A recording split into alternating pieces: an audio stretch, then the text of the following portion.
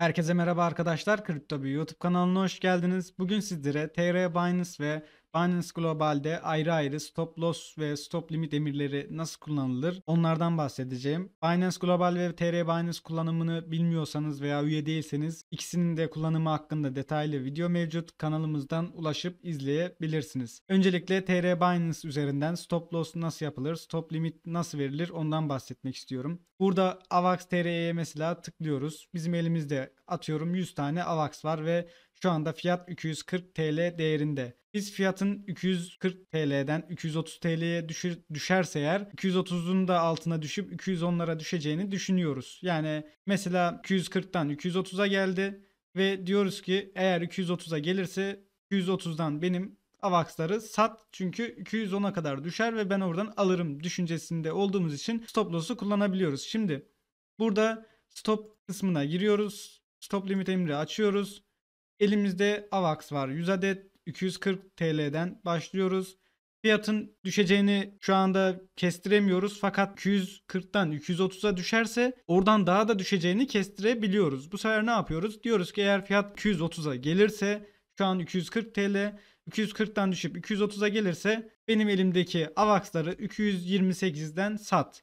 Neden 228, 230 değil? Çünkü 230'a düştüğü gibi 230'dan sat dersek bu sefer orada çok fazla alım olmayabilir. Elimizdekileri satamayabiliriz ve elimizde kalabilir. Bu yüzden 230 girip biraz fark bırakıyoruz ki elimizden kesinlikle çıkması garanti olsun. 240 olan AVAX 230'a gelirse 228 TL'den satacak şeklinde girmiş oluyoruz. Bu sayede stop emrini gerçekleştiriyoruz ve beklemeyi alıyor. AVAX 240'tan 230'a düşerse veya 229'a vesaire düşerse artık 228 ila 230 TL aralarından sizin AVAX'ları satacaktır. Daha sonra girdiğinizde 210 ise alttan alıp adet arttırabilirsiniz. Bu anlamda gerçekten çok kullanışlı olabiliyor. Hayati önem taşıdığı zamanlar oluyor. Büyük borsa çöküşleri oluyor mesela %30, %40 çöküşler. Eğer sizin stop loss'unuz varsa bu bir uyanıyorsunuz. Herkes %50 zarar etmişken siz zaten stop loss sayesinde 230'dan mesela 240 olana varsa 230'dan satmış oluyorsunuz ve %90'lardan 200'lerden geri girebiliyorsunuz. Al kısmı da bu şekilde 240 TL şu an AVAX. Biz eğer diyoruz ki AVAX şu an 240 250 olursa oradan 280'e kadar çıkacaktır diyoruz. Ne oluyor? 250 stop fiyatı giriyoruz. Limiti de 255 giriyoruz. Yani demek istiyoruz ki AVAX şu an 240 TL, 250 TL olursa 255 TL ve 250 TL aralığında AVAX satın al. Yani satın alma emrini direkt oluşturmuş olmuyoruz. Direkt 250 fiyatlarına vesaire ulaşırsa eğer bize satın almasını istiyoruz. Bu sayede de alım emrini girmiş oluyoruz. Şimdi Binance Global'den bahsedeyim. Binance Global'de de piyasalara tıklıyorsunuz. Buradan stop loss yapmak istediğiniz coin'i seçiyorsunuz. Mesela AVAX'ta yapmak istiyoruz. AVAX USDT'ye giriyorum. Sat kısmına geliyoruz. Stop limit seçiyoruz. Şu anda AVAX 29 dolar. Diyoruz ki eğer AVAX 29 dolarken 25 dolara düşerse ben bunu 24 dolardan satmak istiyorum. Neden 24 dediğim gibi fark bırakıyoruz ki satış işlemi kesinlikle gerçekleşsin. 25 yaparsanız direkt satmayabilir. Şu anda AVAX 29 dolar. Eğer 25'e düşerse elinizdekileri 24 dolardan satacaktır. Ve AVAX 20 dolara düştüğü an alım emri gerçekleştirebileceksiniz. Bu sayede kendinizi korumuş oluyorsunuz.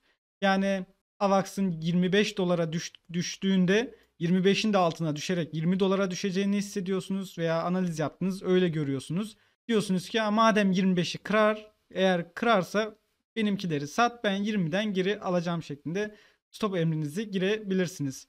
Buradan al yaptığınız zaman da AVAX şu anda 29 dolar.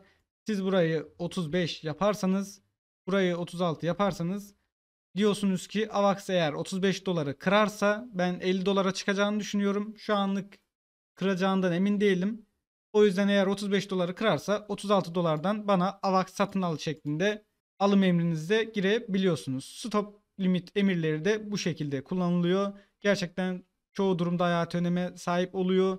Bu al kısmı ise biraz tercihinize kalmış zaten. Binance Global ve Binance TR üzerinden nasıl stop limit emirleri kullanır onlardan bahsettim. Bir sonraki videomuzda görüşmek üzere. Videoyu beğendiyseniz videomuza like atmayı ve kanalımıza abone olmayı unutmayın. Videoyu izlediğiniz için hepinize teşekkürler.